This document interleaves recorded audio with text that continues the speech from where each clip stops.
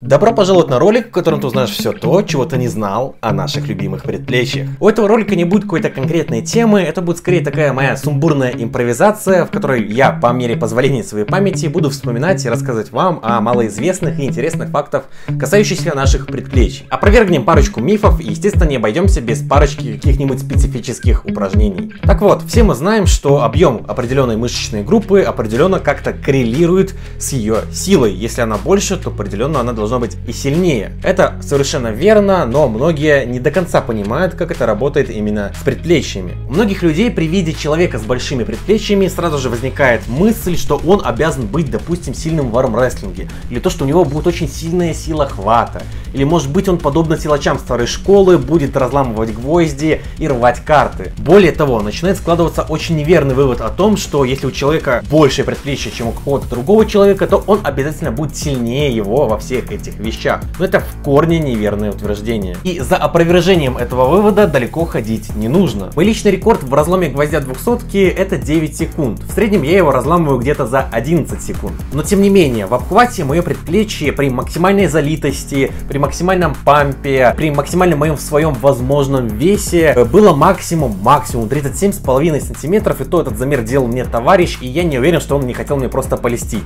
Но при этом всем я держу пари, что предплечье Кирилла Сарычева гораздо больше моего даже в обычном состоянии. Но если мне не изменяет память, то в проверке у Виктора Блуда он смог разломать гвоздь 200 всего за 34 секунды.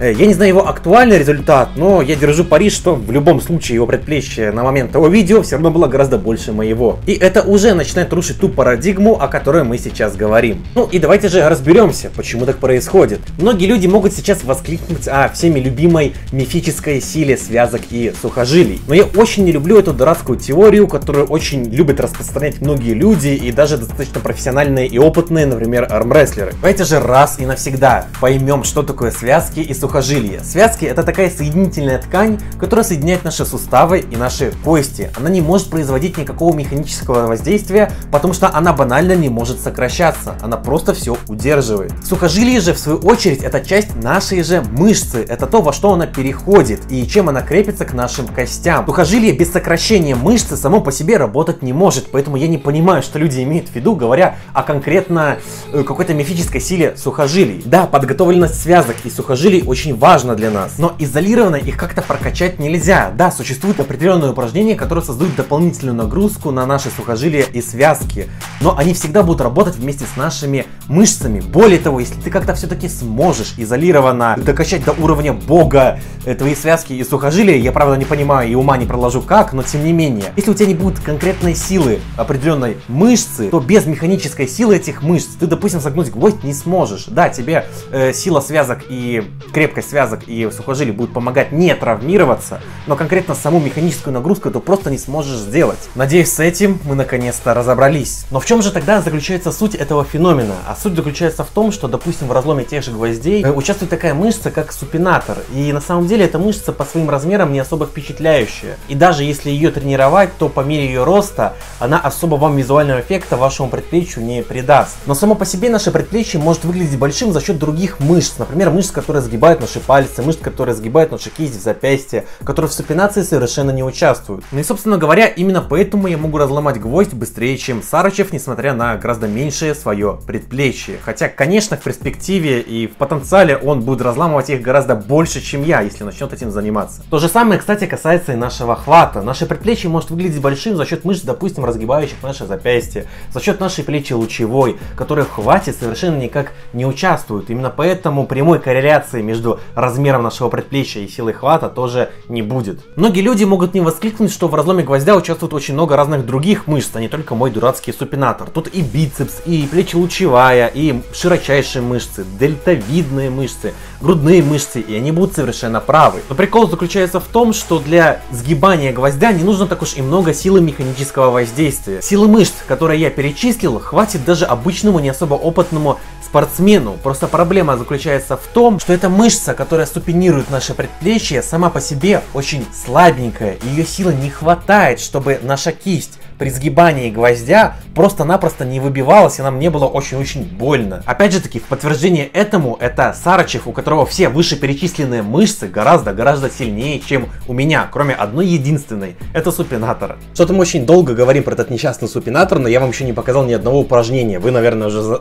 тут и заждались, так что ловите. Для первого упражнения нам необходимо взять, допустим, как у меня, разобранную гантелю, основной вес которой должен быть с внутренней стороны нашего предплечья.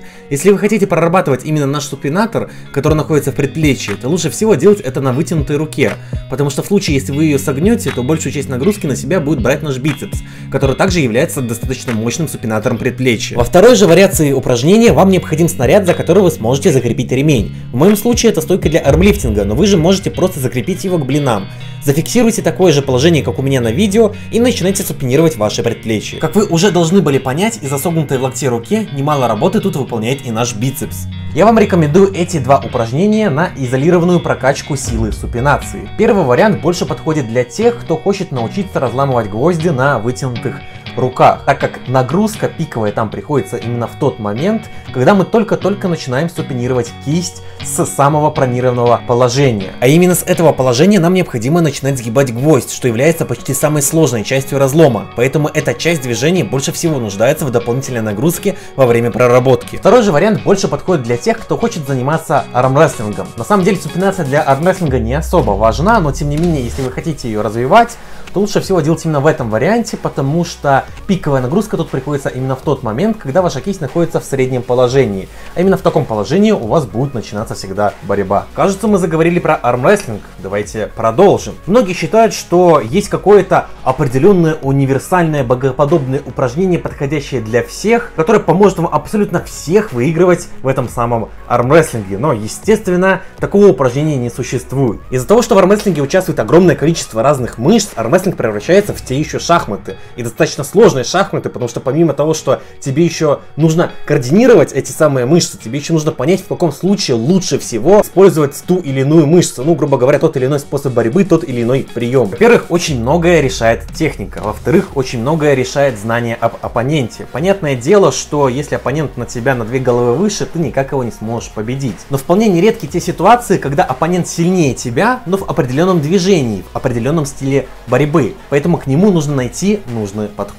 Поэтому тут тебе и нужен опыт, знания и техника, особенно знания о твоем оппоненте. Могу привести в пример ситуацию из моего личного опыта. В финальном поединке я попытался пройти верхом в кисть моего оппонента, но она оказалась гораздо сильнее. Для меня это была большая проблема, потому что верх это был мой основной способ борьбы. Но я все же решил рискнуть и пойти в крюк. И несмотря на то, что крюк это был тот способ, который пытался навязать мне мой оппонент, я оказался в нем сильнее. Именно поэтому я смог выиграть. Хотя если бы пытался дальше бороться тем способом борьбы, который мне был более привычен, я бы просто проиграл кисть и проиграл поединок. Поэтому, возвращаясь к упражнениям, тут стоит вопрос, на который даже я вам ответить не могу. Если бы мы боролись только против одного противника, естественно, можно было бы придумать тактику и тренировку, специально заточенную против него. Но у нас оппоненты всегда будут разные. Как правило, большинство людей не хотят победить только одного конкретного человека, ну, кроме своего бати, естественно. Занимаясь армрестлингом, нам придется бороться с огромным количеством разных людей, особенно если это будут соревновательные условия. И, естественно, каждая борьба это будет своя уникальная ситуация. И используя модель поведения, с помощью которой ты победил одного человека, далеко не факт, что используя ее, ты победишь другого. Отнюдь ты можешь все испортить и проиграть, хотя имел возможность выиграть. Естественно, это все относится только в том случае, если ты плюс-минус равен с оппонентом, потому что если он на две головы выше тебя, понятное дело, что ни один способ борьбы тебе никак не сможет помочь. Вернемся к примеру с моего личного опыта. Могла случиться ситуация далеко и не в мою пользу, ведь крюк оппонента мог оказаться гораздо сильнее. И лучше бы я, вместо того, чтобы тратить время на прокачку бесполезного для меня крюка, э, мог потратить восстановительные силы и время на то, чтобы докачать свой верх так, чтобы я мог ему выбить кисть и победить его именно своим верхом. Но никто не исключает еще и тот вариант, что его кисть могла быть настолько крепкая, что я бы никогда в жизни не смог докачать свой верх до такого уровня, чтобы выбить его кисть. Поэтому, возможно, против него мне все равно было бы лучше закачивать именно борьбу в крюк. Понимаете, тут никогда не угадаешь. Поэтому и упражнения советовать очень сложно. Поэтому и армрестлинг является таким интересным видом спорта. У каждого свои тактики, у каждого свой способ борьбы, каждый занимается по своей программе тренировок тренировок и прокачивает свои движения. Кто-то оттачивает свои лучшие стороны, свой самый сильный способ борьбы, самые сильные стороны до идеала. Кто-то же наоборот заделывает свои бреши и пытается все прокачивать равномерно. И очень сложно и скорее даже невозможно сказать, какой из этих выборов более правильный. И уж точно это делать не мне, потому что, к сожалению, мой опыт в армрестлинге пока что достаточно маленький. Но заканчивать свое развитие в армрестлинге я не собираюсь. Что не скажешь об этом ролике. Думаю, я вам дал достаточно много интересной информации. Ролик вышел, скорее всего, не особо длинным, но это и хорошо, потому что он экспериментальный. Поэтому обязательно пишите, понравился ли вам такой сумбурный формат. Мне есть еще очень много того, что можно рассказать про наши предплечья. Главное, чтобы вам нравилась такая подача. Ну и по дефолту буду очень благодарен тем людям, которые подпишутся на мой инстаграм, а также залетят пообщаться с работягами в моем телеграм-канале. Всем, как всегда, крепкого хвата!